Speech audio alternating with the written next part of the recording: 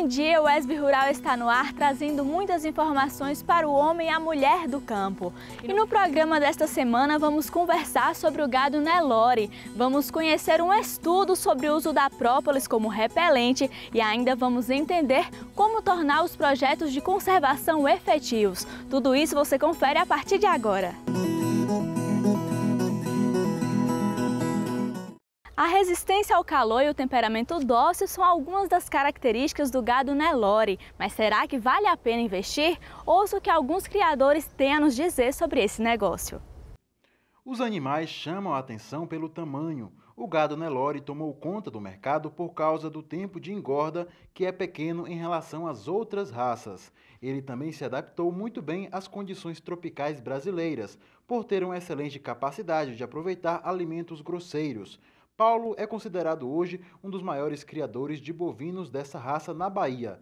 Ele não diz quantas cabeças de gado tem, mas garante que os resultados com o animal o fizeram investir pesado somente nessa raça. O Nelore hoje, é, principalmente na Bahia, com esses últimos anos, cada dia mais, com menos chuva, ele é um boi, é um animal que se adaptou bem à nossa região.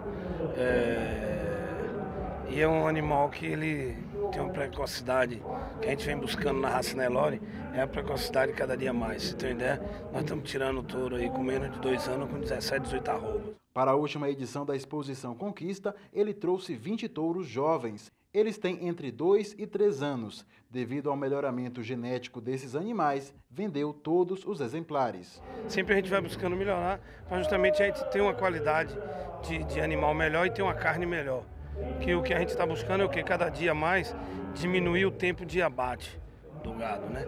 É, você vê que antigamente é, é, meus pais, meus avós, para engordar um boi era cinco anos. Hoje a gente está engordando um boi com menos de dois anos. No ano passado, Evaldo comprou das mãos de Paulo três touros da raça Nelore ele está investindo em sua criação aqui na região sudoeste. Há pouco tempo, os resultados começaram a aparecer. Os animais, embora fossem touros novos, é, muito jovens, eu utilizei na minha, nas minhas vacas e a produção desse, o produto desse cruzamento começou a aparecer agora há um mês, um mês e pouco. São excelentes animais de muito boa qualidade, está nascendo a bezerrada muito boa. Com os bons resultados, o papo hoje com o Paulo é para mais negócios. Embora o macho seja importante para o desenvolvimento de uma boa linhagem do rebanho, uma matriz saudável de boa qualidade é fundamental. Tem que ser uma matriz boa também. Mas como diz desde a época dos meus avós, vaca de tostão e boi de milhão para justamente poder estar tá tendo uma melhoria, que é o touro, que é o que melhora realmente. Quem também está feliz com negócios feitos com Nelore é esse criador aqui da região de Vitória da Conquista.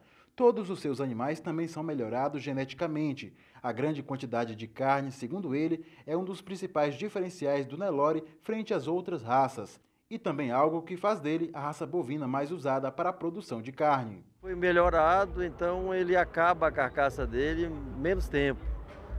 Vamos dizer, enquanto um animal desse com 24 meses, 30 meses está pronto para ser abatido, um animal comum seria aí 4 anos, Embora o Nelore garanta um bom negócio, muitos criadores garantem que o maior ganho na criação dessa raça é o desenvolvimento do rebanho. Observar com o tempo que aos poucos a produção vai melhorando. O quadro Cotações está chegando para nos informar sobre os preços. Fique atento.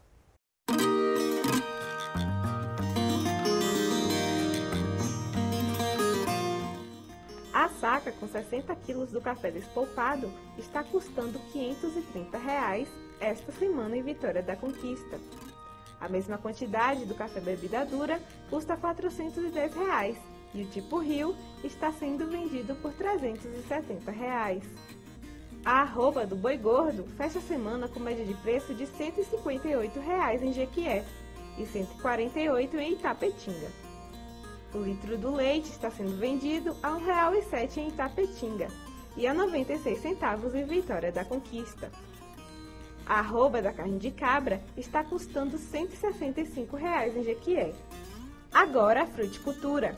A caixa com 26 quilos do tomate está saindo a 40 reais em Juazeiro. Já a saca com 30 quilos do abacate sai a R$ 82,50 em Salvador.